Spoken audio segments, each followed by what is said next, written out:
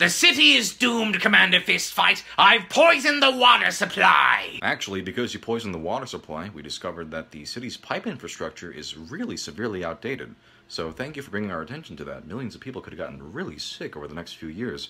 Uh, secondly, because you snuck past the security system so easily, we found out that funds specifically for that security system were being embezzled by government officials, so we've busted a major fraud ring. And finally, the pathogen you unleashed does give people mild diarrhea, but we found it also is a great source of vitamin C. Okay, whatever. Take this! You fixed my shoulder. God damn!